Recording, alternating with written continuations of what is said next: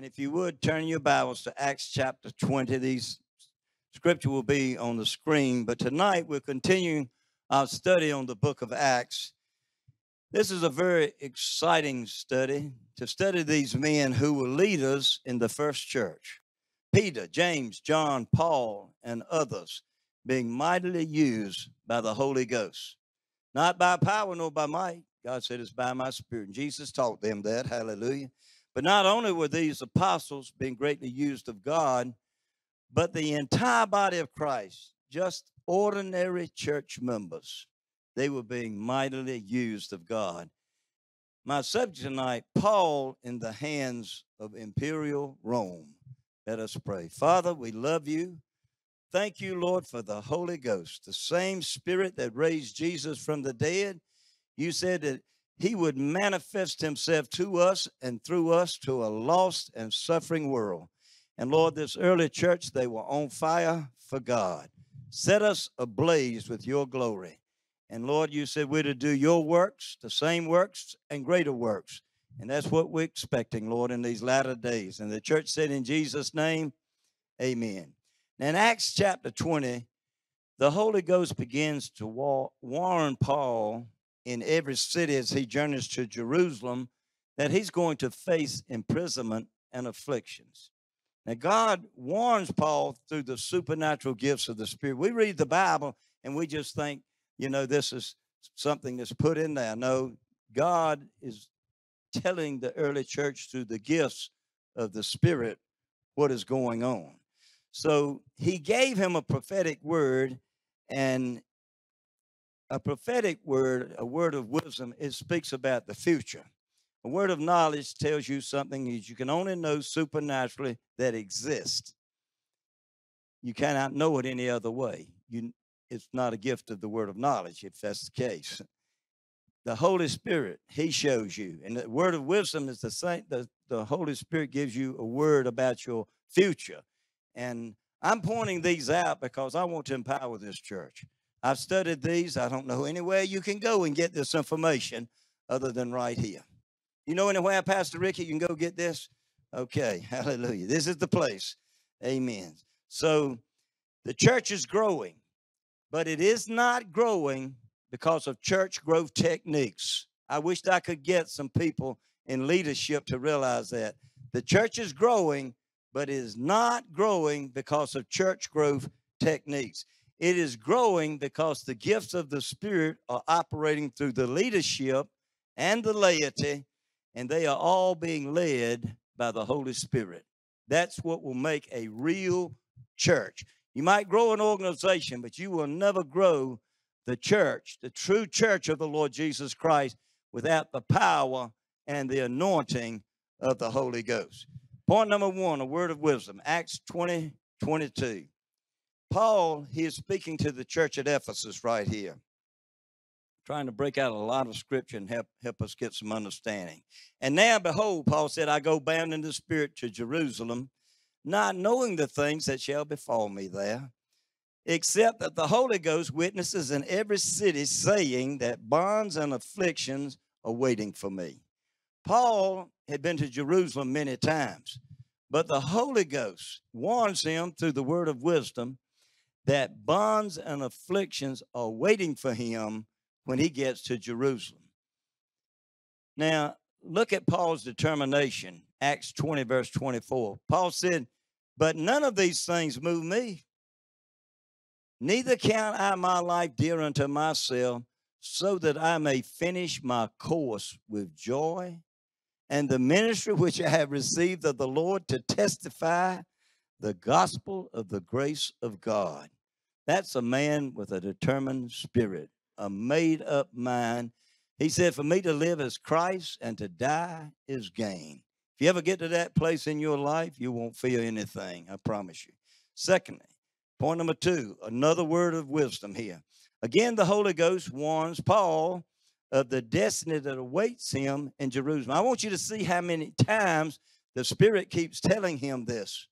Acts 21 and 4. And finding disciples we tarried there seven days, who said to Paul, through the Spirit, gift of the Spirit, that he should not go up to Jerusalem. What I want you to notice is this the gifts of the Spirit were functioning in the church. This is not an apostle, a prophet, an evangelist, a pastor, a teacher telling him this. This is the church, the laity, okay? It wasn't just one or two that had these gifts, but wherever Paul went, Paul found disciples, and through the Spirit, he was supernaturally told about his future. Now, we try all types of things trying to, to do what they did. But I believe if we'll get full of the Holy Ghost and open our eyes and our hearts to understanding the gifts of the Spirit, we will see how they function and how we can function. I, there's certain things I've seen in the Bible that Paul did. I said, if Paul can do that, I can do that. I got the same Holy Ghost. If Peter can do that, I can do that. I got the same Holy Ghost. God is no respect of person. I just need to seek him with all my heart till I find him, and that's true of the church. Now, this time, the word of wisdom is functioning through disciples who were simply church members. They weren't apostles, prophets, evangelists, pastors, teachers, a part of the fivefold ministry. They were disciples, regular church members. That excites me. That means that my job as a pastor is to equip you to do the works of the ministry, to teach you about the gifts of the Spirit. This proves that the gifts of the Spirit do not just flow through the hierarchy, but the gifts flow through the total body of Christ. And knowledge is power. And that's why I'm teaching these things. That means that the total body of Christ must learn to be subject to God's ordained authority too. The entire body has to be subject to God's leadership. And the gifts are to function like that. But let me tell you something if you don't have someone leading, you will have something wild on your hands. I promise you that. You can't let everybody do what is right in their own eyes because if they do, you're going to have problems in your church. There has to be some order and some structure to the gifts of the Spirit. Paul covers that quite a bit in Acts chapter 12 through 14. The gifts are to flow through the total body, but we have to have order about it.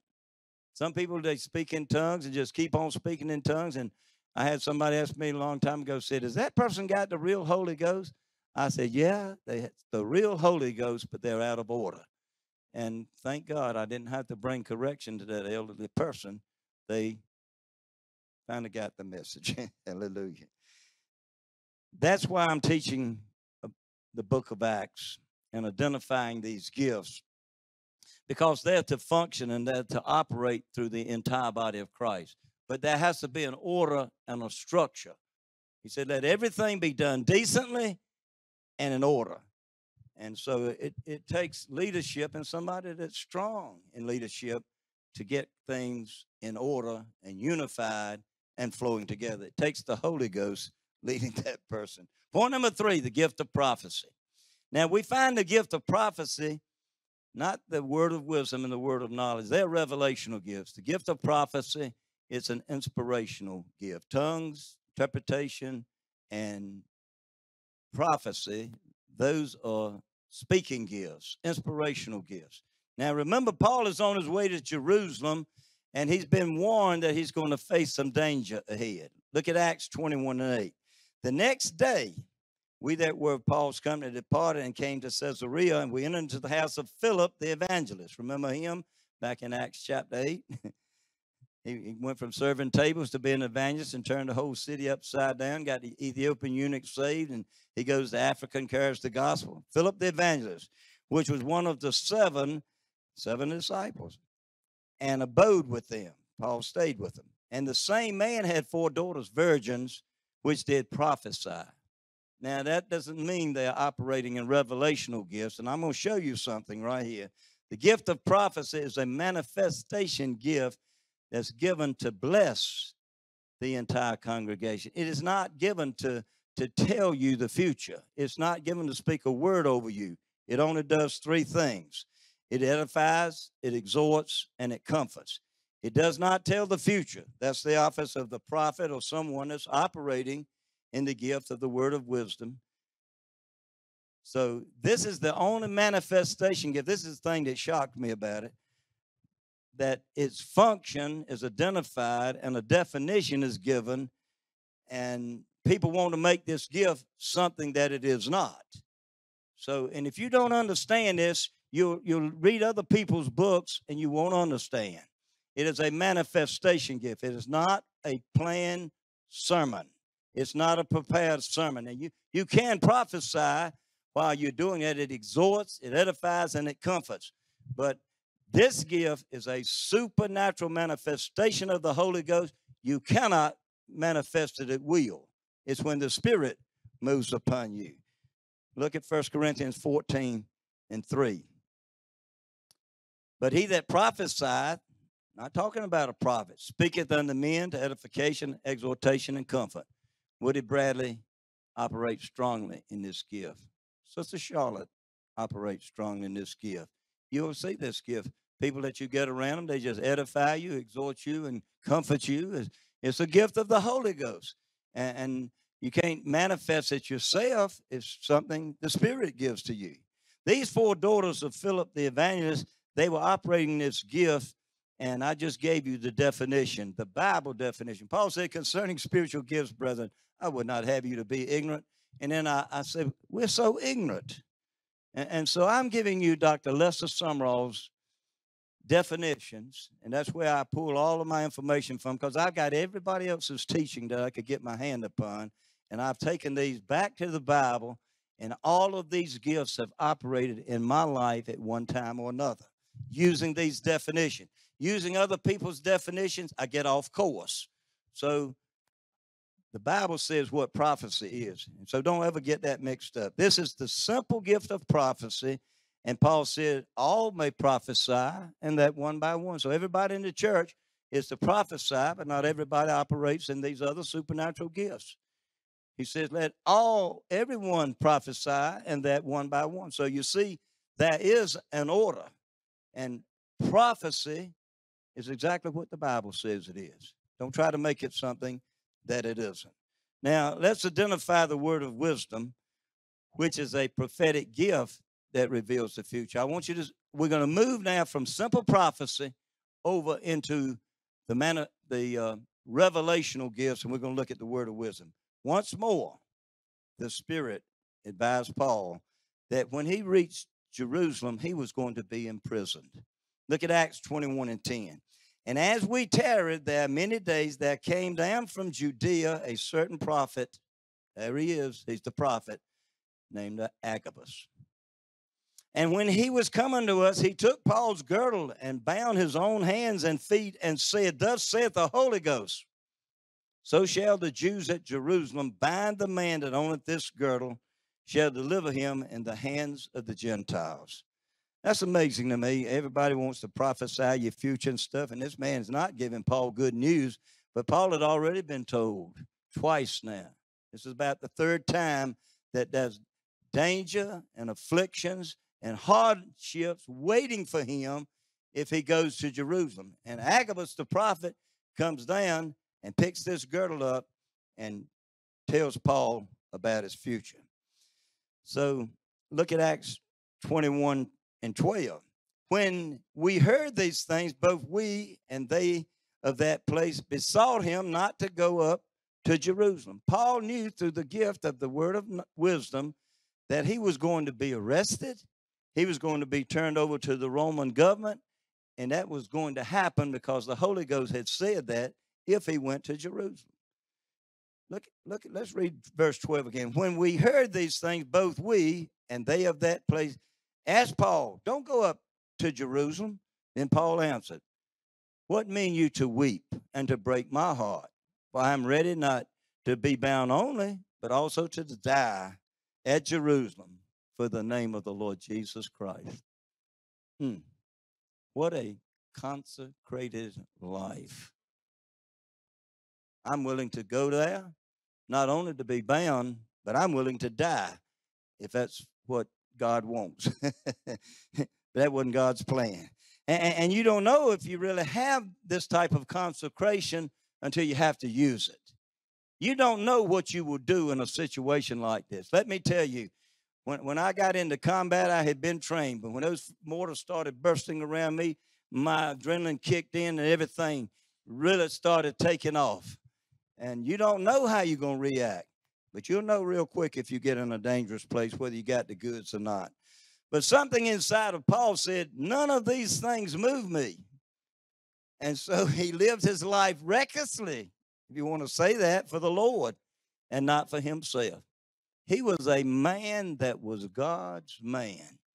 And if he was impressed by the Spirit to do it, Paul, this man of God, this man that was caught up in the third heaven, he was so consecrated to God that he just did it. Now, remember the great apostle, he is nearing the end of his public ministry. And the Holy Ghost is directing his life, just like he always had. We've come to the year AD 60, 27 years after the day of Pentecost. The church has been grinding through empires. The church has been growing for 27 years. And by this time, it has now touched Caesar's household. And it was the, the leadership, the apostles, the fivefold ministry, and the church working together that made this church so great and the gifts of the Holy Ghost. Not church growth seminars. I can't say that enough. Paul had been warned by the Holy Ghost that he would be arrested in Jerusalem and turned over to the Roman government. That's your destiny, Paul. That's what the Holy Ghost let him know. He said, I'm going. Now, in Acts chapter 22, he is arrested. And Paul, he falls into the hands of imperial Rome and he never gets free again. Think about that. You read the book of Acts, from this point on, after he gets to Jerusalem, he gets turned over into the hands of imperial Rome and he never gets free again. He was bound with chains, but he was not bound in the spirit. Hallelujah. I said, You can be bound with chains, but you don't have to be bound in the spirit. And this man wasn't. In Acts chapter 22 at Jerusalem, Paul gives his testimony of his first encounter with Jesus Christ. Think about that.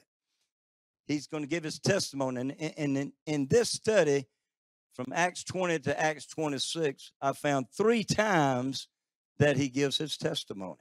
So, point number five is Paul gives his testimony. Now, when Paul reached Jerusalem, he wants to tell the people about his encounter with Jesus and what God had done through him and how the Lord Jesus had paid sin's debt. Look at Acts 22 and 6. It came to pass that as I made my journey was come near unto Damascus about noon, he's telling about what happened to him on the Damascus road. Suddenly there shone up from heaven a great light round about me. And I fell to the ground and heard a voice saying to me, Saul, Saul, why persecutest thou me? And I answered, Who art thou, Lord? And he said unto me, I'm Jesus of Nazareth, whom thou persecutest. He was killing Christians at this time. God arrested him. Verse 9 says, And they that were with me saw indeed the light and were afraid, but they heard not the voice of him that spake to me. He was speaking to Paul in a language that Paul understood. They could hear what was being said, but they did, it didn't understand it, meaning they didn't understand the language. Paul, he, he knew multiple languages. And I said, What shall I do, Lord? Verse 10. And the Lord said unto me, Arise and go into Damascus. It shall be told thee all the things which are appointed for thee to do. You know, God did not give him all the details. So this is the word of wisdom operating again. God is telling him, You're going to do some things for me. And he look at Acts 22 and 19. Paul is still giving his testimony about how he met Jesus that day on the Damascus Road. Acts 22, 19. And I said, Lord, I like that. He didn't just get a savior that day. That man said, Who art thou, Lord? He got up off the the dirt, brushing himself off. He's blind, he can't see a thing. And he says, Who art thou, Lord? I said, Lord, they know that I imprison and beat in every synagogue them that believed on you. Verse 20. says, And when the blood of the martyr Stephen was shed, I was also standing by and consenting unto his death and kept his raiment while they slew him. Hmm. And he said unto me, Depart, for I will send thee far hence unto the Gentiles. He doesn't know all the hardships he's going to face. He just knows he is a chosen vessel that God is going to use mightily. Paul told those men at Jerusalem about his conversion. He's testifying. He had given them his testimony and he told them of the ministry that God had called him to. But I want you to look at their reaction because just because God calls you and God empowers you and God sends you, that does not mean everybody is going to accept you and like you. Okay? Look at their reaction. Acts 22 22. And they gave him audience unto this word, and then lifted up their voices and said, Away with such a fellow from the earth, for it is not fit that he should live. Oh, my Lord. And they, as they cried out and cast off, they tore the clothes off, cast off their clothes, and threw dust into the air. And then the, look at verse 24. The chief captain commanded him to be brought into his castle hmm. and bade that he should be examined by scourging, that they might know wherefore he cried, they cried out against him. Now, Paul had been warned several times through the word of wisdom what would happen to him when he reached Jerusalem.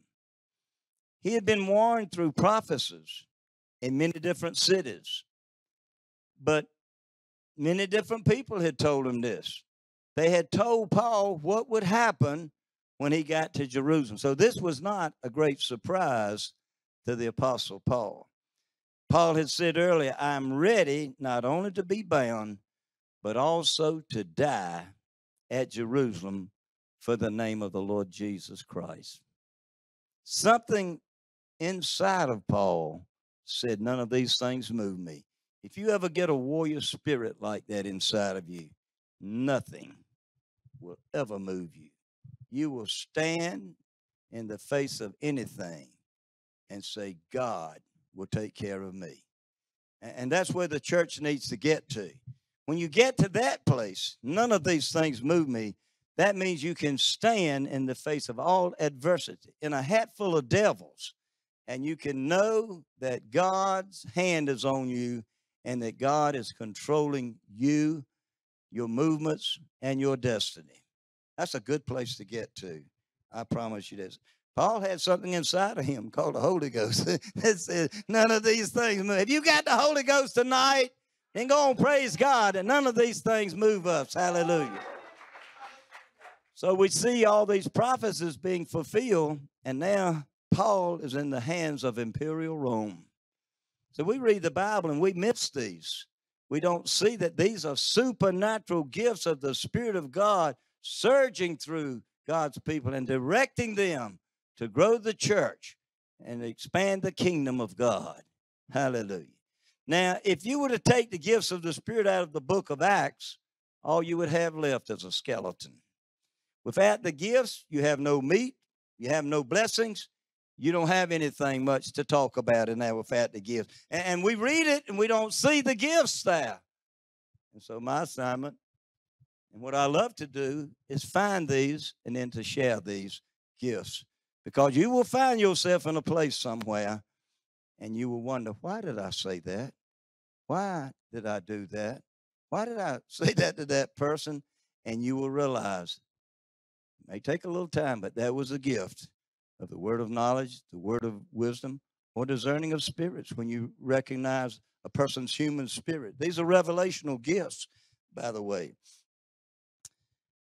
I love the gifts.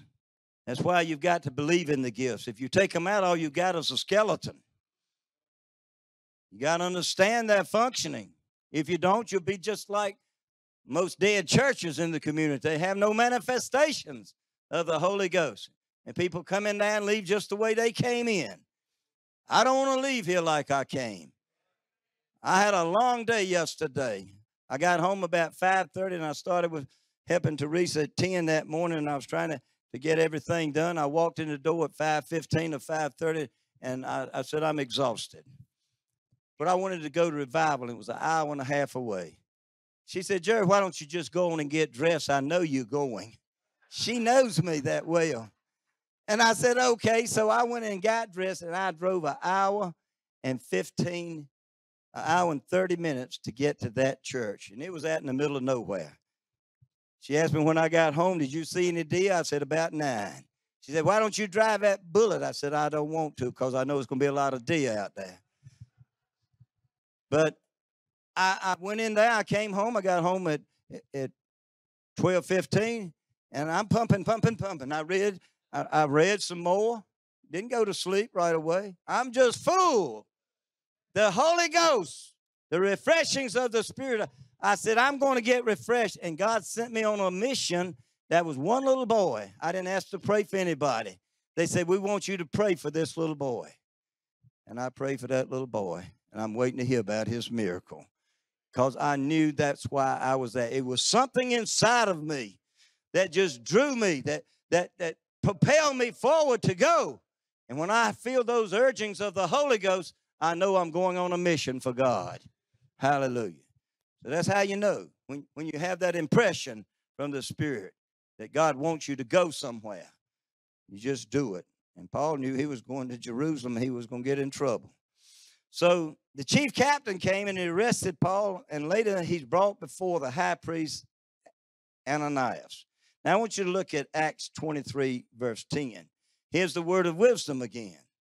I want you to see these gifts. Acts 23, 10. And when there arose a great dissension, the chief captain, fearing lest Paul should have been pulled in pieces, commanded the soldiers to go down and to take him by force from among them and bring them him into the castle. Look at this. Verse 11, here it is. And the following, the night following, the Lord, Jesus, Lord, the Lord stood by him and said, Be of good cheer. I mean, the man's arrested, and the Jesus, the Lord, stands beside him, said, Be of good cheer, Paul, for as thou hast testified of me in Jerusalem, so must you bear witness also at Rome. So now this man knows not the, the shipwreck, not the storm that's coming. He just knows one thing I'm on my way to Rome. Hallelujah. Because the Lord had told him. Isn't that beautiful? To me, it is. This meant that nobody could kill him en route to Rome. It's impossible. That snake that bit him, it could not kill him. He's on his way to Rome. I tell people, get in touch with somebody that's on their way somewhere. Hallelujah. They can't die before they reach the, what God has called them to do. Ah, you're not half as excited as I am. They couldn't kill him till he got there. That's the good part. He had traveling papers from God. Let me show you another man that had traveling papers from God. Look at what Jesus told Peter. Look at John 21 18. Jesus said, Truly, truly, I say unto you, when thou was young, thou went, girdest thy place, and walked wherever you wanted to. But when you are old, thou shalt stretch forth your hand, and another shall lead thee, gird thee, and carry you whither you do not want to go. Huh. This he spake, look at this, signifying by what death he should glorify God. You want the gifts of the Spirit operating in your life? Both these men, you know, they, we all gonna die. Some people die a thousand times before they ever get there. Can't die but once. So live your life to the fullest and enjoy the presence of God. And don't let anybody stop you when God tells you to do something. Don't let the naysayers keep you from being everything God wants you to be. Don't let those that have no passion keep you and, and, and they've, they've got their sight set in the wrong way. Keep your eyes on Jesus Christ. Keep your eyes on the prize. Press in on him and he'll talk to you. Go and praise him. He'll show you things to come. And when the sorrows of life come, he'll inject you with joy unspeakable that's full of glory. Glory to God. I love serving the Lord. Hallelujah. How would you like to have a word like that from God? If the Lord says you're going to get old, guess what? Get ready to live a long time. Now, the Lord gave me a word of wisdom. I'm going to find mine right here.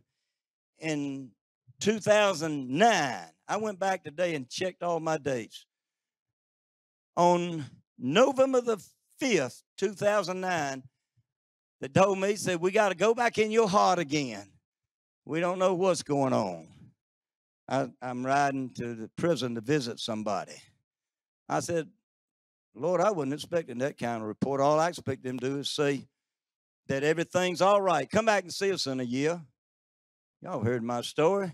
God spoke to me, said, With long life will I satisfy you and show you my glory. He said, Glory. I came home and Teresa met me at the door with his card. I carry it with me. This is my testimony. Hallelujah. How many people do you know that have a word from God like that? And, and, and, so he says, Fear not, he will cover you with his feathers, and under his wings you will find refuge. No evil shall befall you, neither will any plague come near your home. But he will give his angels charge concerning you to guard you in all your ways. Today, God says to you, Because you have loved me, I will deliver you. You will call upon me, and I will answer you. I will be with you in trouble.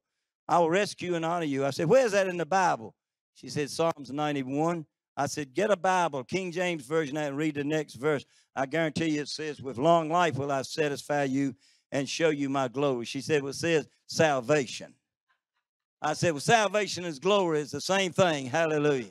But I found out later what that word salvation means. If you got a strong concordance, go look it up. It means Yeshua. I'll show you Jesus. And many of y'all in the old church, when I, I left my body and went up into heaven and saw the glory of God. God said glory, so I saw glory. Hallelujah. I've never been the same. You never will. God spoke that to me on November the 5th. I went and looked it up. I write these things down. The card arrived the same day, November the 5th. I was reading a book by Jentezen Franklin, waiting for them to go in my heart on November the 22nd, 2009. And, and I flipped the page of that book, and it was Psalms 91 in its entirety. I said, let me read this first. And I looked at my wife. I said, Don't worry about it. Everything's going to be all right. This is the third time. Now, I'm still not healed, okay? I, I, have a book by Smith Wigglesworth, the complete collection of his works on 12 14 1922.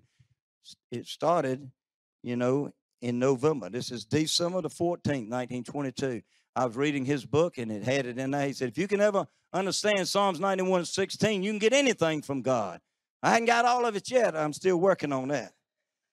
That same book on November, the, December the 17th, three days later, he had that in his book again. He said, Look at me, I'm 63 years of age. He said, I don't know what it is to have a body. I said, I haven't got there yet. He said, I have no pains in my body. I said, Lord, I'm working on that. Won't you work on me? Wouldn't you like to live in this world understanding the complete redemption of our body, not the glorified body, this body right here on this planet with no pain because you understand revelation. They put John in a boiling pot of hot oil and the man lived. They beat Paul five times and he goes, he broke his, his feet five times with rods and he walked all over the known world. They break every bone in your foot when they do that. Yet he walked all over the known world carrying the gospel of the Lord Jesus Christ. Oh, church, we need the gifts. We need him. Praise God. We're going to get it, though, the former rain and the latter rain in the same season. I'm looking for it. Hallelujah. Glory to God. My Lord. Now, they couldn't kill Paul even though they wanted to. And a group of Jews, they later vowed that they would not eat nor drink until they had killed Paul. And when the chief captain of the Roman guard heard of this plot, he took Paul by night and took him to Caesarea to stand before Felix, the governor. Point number seven the governor hears Paul's case. They put Paul on the house arrest at Caesarea. Look at Acts 24 24. And after certain days, when Felix came with his wife Drusilla, which was a Jewish, he sent for Paul and heard him concerning his faith in Jesus Christ. The governor Felix allowed Paul to give his own defense. What favor with God. Amen. And he testified to Felix about his faith in Christ and the hope of the resurrection. This man is on a mission, nothing deters him no matter what's coming his way. Look at Acts 24 25. And as he, Paul, reason of righteousness, had the blood of Jesus cleanses from all sin. That's what he was telling Felix. And temperance, how to live a successful, God fearing life. And judgment to come, that everybody will be judged. And so this governor, this man of authority, the Bible says, Felix trembled and answered, Go your way for this time. When I have a more convenient season, I will call for you. Felix never had a more convenient system, season. This was his time. This was his opportunity. He never had another opportunity that we find in the scriptures to receive Jesus as his Savior. And as far as we know, this man went to hell looking for a more convenient season. And this chapter ends, chapter 24, Paul is still in prison. But he knows his destiny. He's headed to Rome. Point number eight Paul appeals to Caesar. Now, another powerful man named Festus, he comes on the scene.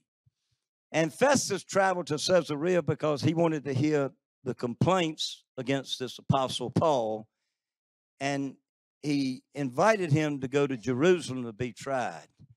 Now, look at this Acts 25 and 7. And when he was come, the Jews which came down from Judea, these are the men that stood against Paul, stood round about and laid many and grievous complaints against Paul, which they could not prove. They just complaining like people talk about you. They can't prove anything. And, and after they tell all their lies on you, they'll have to say, Well, I will have to say this. He lives what he says. She lives what she says she lives. Don't think the world's going to love you. Don't think those in the church are going to love you. They got religion.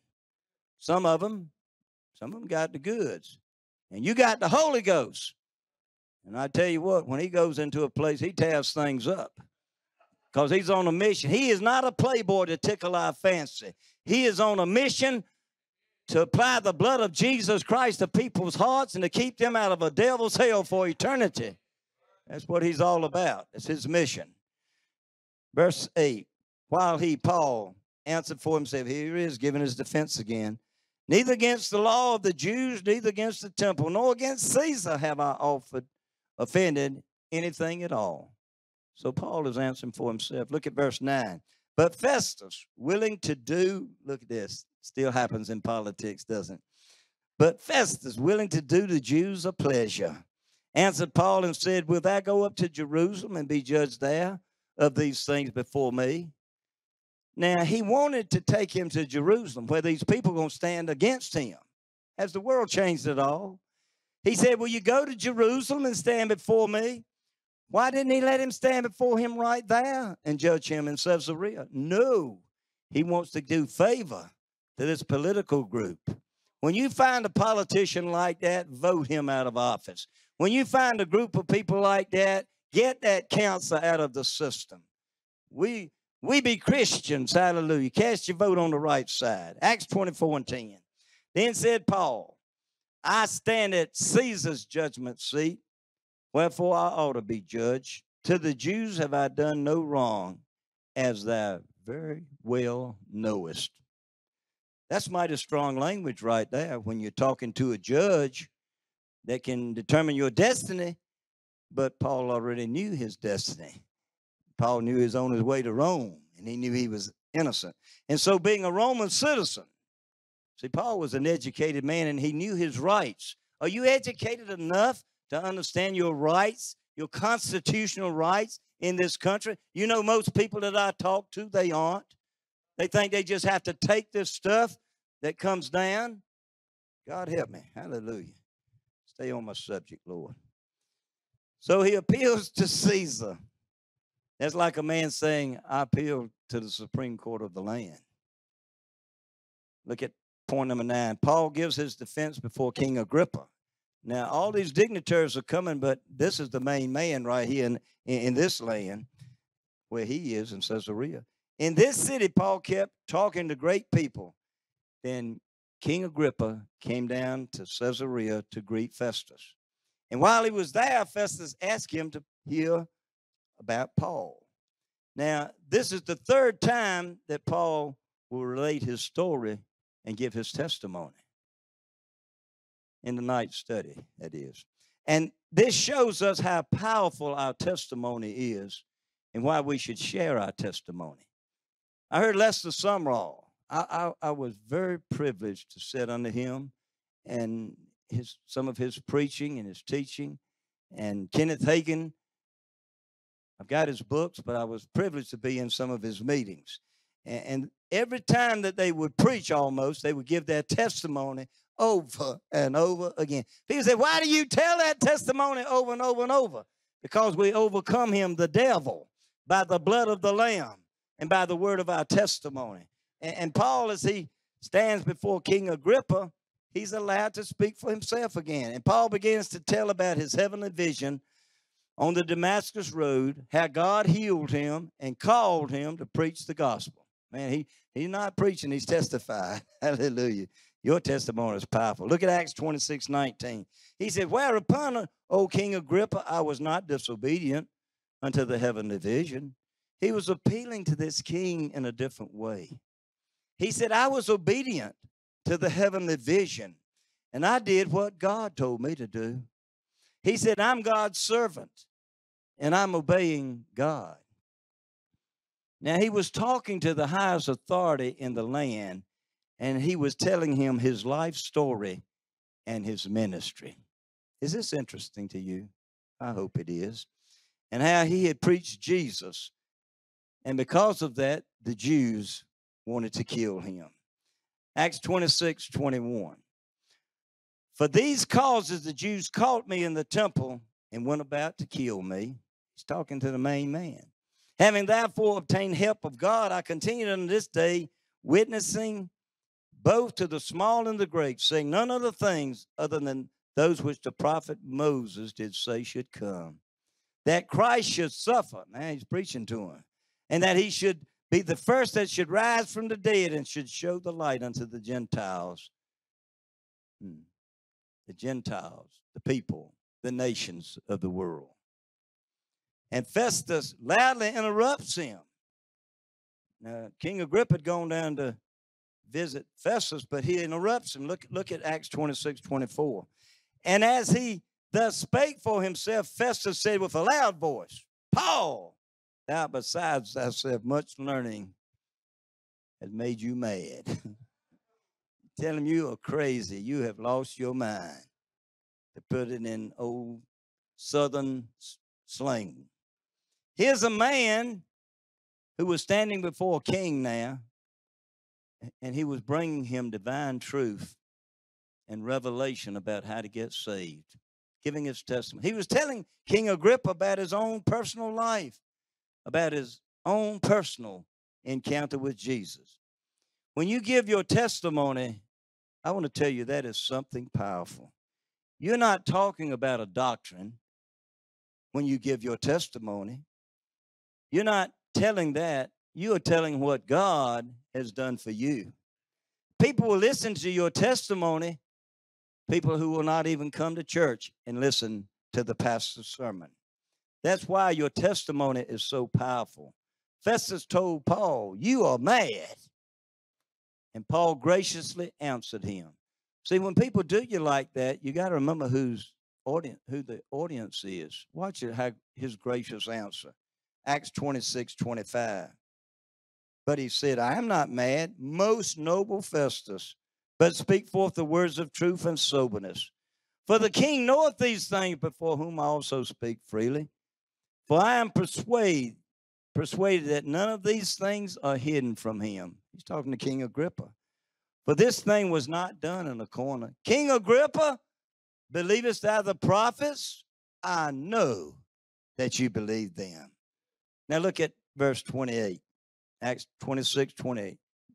Then Agrippa said unto Paul, Almost thou persuadest me to be a Christian. What a powerful testimony. King Agrippa said, Paul, you have almost persuaded me to give my heart to Jesus and to become a Christian. But this was his time, King Agrippa. This was his moment. And King Agrippa, he went to hell, as far as we know, almost persuaded. You know, there are a lot of people in the church like that. You might be looking by Facebook tonight, and you might be like that, almost persuaded. But the king is coming. The only question is, are you ready for him? See, no one ever needs to put off their salvation to some distant time because the Bible says today is the day of salvation. And no one is promised tomorrow. Aren't you glad that God was long suffering with you? Aren't you glad that God put up with your rejection of his son for all those years? And then he accepted you into the beloved and now calls you his child. What a gracious God we serve. Now, Paul is in the hands of Imperial Rome and he never gets free again. We'll pick him up next week. But in Acts 27, he was bound in chains, but he was not bound in his spirit. He is headed to Rome because God told him through the gift of the word of wisdom that he would go there, that he would testify there, and that he would preach the gospel there. When he arrived in Rome, he was placed under house arrest and he had privilege. That's called divine favor. God had a plan for him. No matter what your adversities, God can give you favor in the midst of the storm. God controls the yeses of Pharaoh and the noes of Pharaoh. There are people that think they're so powerful and they can do so much, but their very breath that they breathe comes forth from the ruach of God, the breath of God. He's a good God that loves us all. Paul preached there in Rome. He preached the kingdom of God, testifying and te- teaching people about the saving power of Jesus Christ. Let us stand. Holy Spirit, Hallelujah. thou art well. Thank you, Lord. This place. Took me all day long to break that down. Holy Spirit, I had a good time with the Lord. come in Hallelujah. this place. Father of mercy and grace, thou art will come in this place. I want everybody to come. They have some people that need a refreshing. Like last night, Lord, I just needed a refreshing. I drove an hour and a half to get there. But I came home bubbling, bubbling, bubbling. You make a sacrifice for God, and I promise you, He'll fill your bubbler up. Woo! Glory. Hallelujah. Holy Spirit, thou art will. Come put some fire on these altars. If you need fire, come touch it. Glory to God. God, altars are special to God. Hallelujah. Those prophets of old, they built altars. Hallelujah. God met them at the altar. God will meet us at the altar. Hallelujah. Come tell him about your need. Tell him about what you're going through. Tell him about your loved ones. Tell him about your heartaches. Tell him about what you want him to do for you. Say, Lord, I'll do whatever you ask me to do. Some people just need to come and get their joy filled again. Hallelujah. Fill me.